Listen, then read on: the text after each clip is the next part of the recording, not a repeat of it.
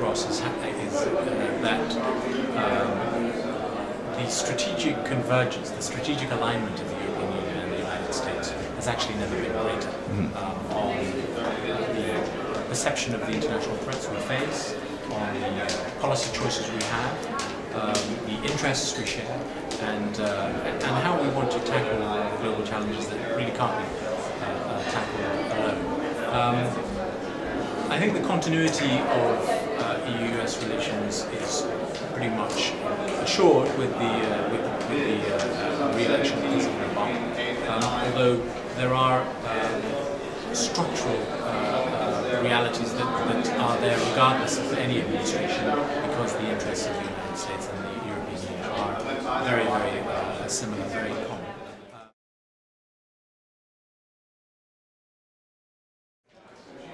The main agenda points for the next few years are a focus on the economy. That is an absolute priority. Both uh, sides of the Atlantic desperately need jobs and growth. But our foreign policy cooperation will also uh, uh, continue. It's, it's been excellent. It will continue. There are many problems that remain and many problems that will show up. And there's always the unexpected, unexpected. Uh, but uh, um, and climate change, energy, non-proliferation and development. All of these uh, uh, challenges will remain for, for the transatlantic relationship, um, but I'm confident that this sense of, uh, of shared uh, interests um, and based on common values that we have, and above all on shared interests, will, uh, will allow this, this partnership to strengthen further. Um, I think a new context, a new reality of emerging powers, uh, China, of course, um, has led uh, uh, to to re, to, to a re-prioritization of, of, agendas. The United States is, has the, the Asia Pacific pivot, as we know, but um, so do we. I mean, we have also the Asia relationship to handle, and cooperation between the United States and the European Union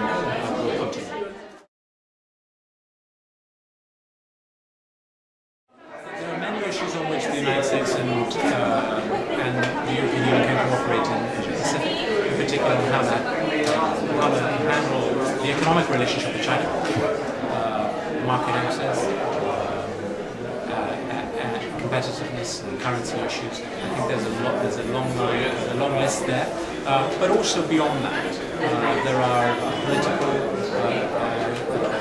cooperation areas of political cooperation with regard to regional actors such as others which the European Union, and even on things like maritime uh, uh, uh border disputes, uh, where, where of course the European Union is not going to be sending any warships, but certainly its experience and, and also the fact that it's, it's ratified the, uh, the UN Convention on the Law of the Sea uh, will allow, uh, I think, uh, uh, an input in cooperation. We have a very extensive um, agenda that we're actually strengthening following the, the summit from last year that we will be building.